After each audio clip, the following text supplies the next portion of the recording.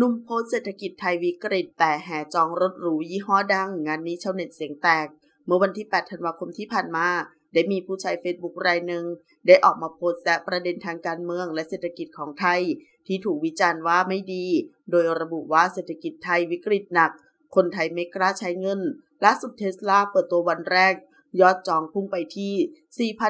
4,135 คันบวกแล้ว ยอดจองพุ่งไปที่ 4,135 คันบวกแล้วเรียบร้อย แฮชแท็กอดตายทิปนอกจากนี้เจ้าตัวยังคอมเมนต์ต่อว่า ยอดขายรถพุ่ง ยอดขายโทรศัพท์พุ่ง แต่ละบริษัทประกาศโบนัสพุ่ง GDP โต ส่งออกโต ต่างชาติแห่มาลงทุน EEC ท่องเที่ยวฟื้น ยอดจองโรงแรมพุ่ง 1,300%เยอะแยะไปหมด เศรษฐกิจแย่มาก ส่วนอันดับหนึ่งมอเตอร์โชว์นั้น ได้ไปแค่ 2,500 นิด ๆ เศรษฐกิจแย่แต่สถิติมีไว้ทำลายจริง ๆ จากกรณีนี้แม้ใต้โพสต์จะไม่เปิดให้ชาวเน็ตรายอื่นเข้ามาคอมเมนต์ได้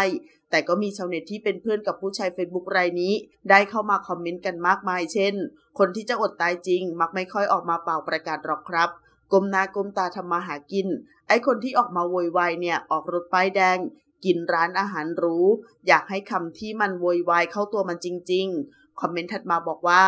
คอนเทนต์ยุคลุงจะอดตายแต่เมื่อวานจองรถกันจนเว็บล่ม คอมเมนต์ถัดมาบอกว่า 4,000 กว่าคันนั้น น่าจะเป็นของสลิมหมด เพราะกีบไม่มีปัญญาซื้อ เพราะกีบบอกจะอดตาย คอมเมนต์ถัดมาบอกว่านางงุ้งยิงจะเคลมว่าผลงานของพ้องมันไหม หรือผลงานของอามันล่ะ ซึ่งโพสต์ดังกล่าวก็ได้ถูกแชร์ออกไปมากมายจนเป็นไวรัลขึ้นมา และก็มีอีกฝั่งเห็นต่างเข้ามาคอมเมนต์ถึงกรณีนี้ เช่นเดียวกัน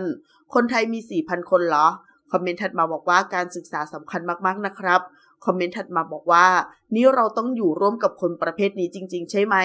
สงสารลูกหลาน คอมเมนต์ถัดมาบอกว่า ยอดจองเยอะเท่ากับเศรษฐกิจดี แต่ขึ้นค่าแรงไม่ได้นะเพราะก๋วยเตี๋ยวจะชามละ 100 บาท แต่ย้ำอีกทีว่ายุคลุงตู่เศรษฐกิจดีนะ แต่ขึ้นค่าแรงไม่ได้ ขอขอบคุณข้อมูลจากไทยนิวส์ออนไลน์ .com ขอบคุณค่ะ